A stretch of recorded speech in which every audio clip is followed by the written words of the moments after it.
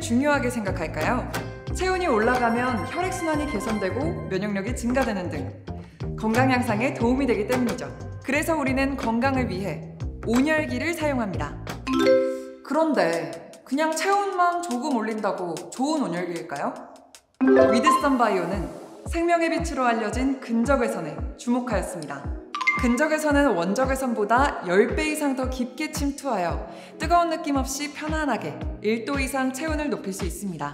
이렇게 1도 이상 체온이 상승되면 면역 체계가 활성화되어 바이러스나 암세포와 같은 유해세포 성장 억제에 도움이 됩니다. 자, 그럼 위라운 근적외선 전신 온열기를 자세히 살펴볼까요? 위라온 근적외선 전신 온열기는 인체공학적인 디자인을 반영하여 편안하게 즐길 수 있습니다. 그리고 위드썬 바이오만의 water filtered 시스템은 원적외선과 중적외선은 차단하고 피부 침투력이 우수한 풍부한 광량의 근적외선만 우리 몸에 제공합니다. 또한 친환경 램프를 사용하여 눈과 피부 등에 안전합니다.